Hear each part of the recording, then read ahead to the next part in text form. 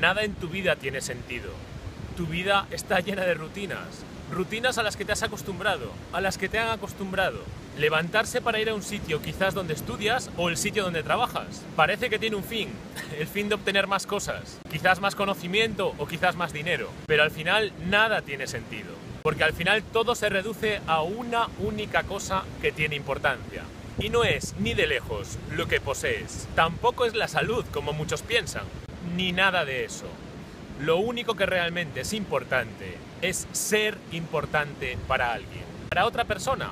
Necesitas considerarte importante para otra persona. Necesitas que haya alguien que te pregunte con interés por tu vida. Y eso es realmente lo único importante.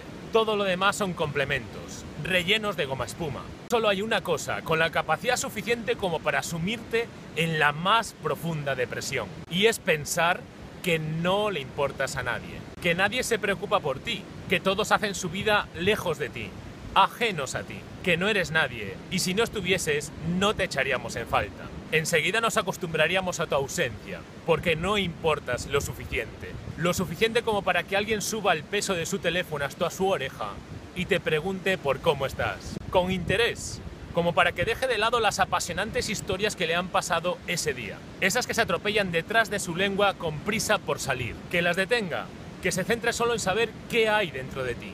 Valorarte.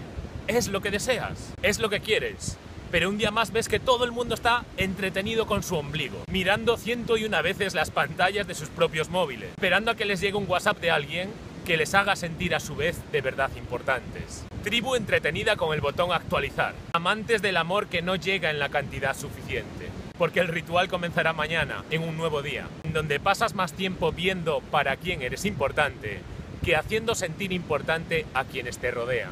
Para todos vosotros va la historia de mi buen amigo Rodrigo, psicólogo de la planta de oncología de un hospital gallego. Cuando Rodrigo entró en la habitación de aquel paciente, el paciente estaba tumbado en cama, de espaldas a la puerta, tapado con una sábana. Rodrigo saludó, pero el paciente no contestó. Apesadumbrado por la enfermedad que carcomía sus entrañas, con miedo a la muerte y odio indefinido, lo que menos le apetecía a ese paciente era hablar, hablar con Rodrigo. Rodrigo preguntó si se podía quedar un rato haciéndole compañía, a lo que no obtuvo respuesta. Se sentó en la silla que había destinado al acompañante en esa habitación. Veinte minutos de silencio después, Rodrigo se levantó y se despidió del paciente sin obtener respuesta. Al día siguiente Rodrigo volvió. El paciente seguía en la misma postura, ni se giró. Rodrigo saludó y se sentó haciéndole compañía 20 minutos de silencio más, después de los cuales Rodrigo se despidió. Lo mismo sucedió durante tres semanas seguidas. En ninguno de los días el paciente se giró,